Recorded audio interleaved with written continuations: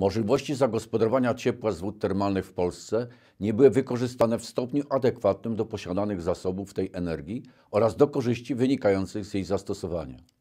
Inwestycje w geotermię w ostatnich latach co prawda przyczyniły się do rozwoju tej branży, jednak ze względu na długotrwałość tych procesów efekty tego wsparcia będą widoczne dopiero w najbliższym czasie.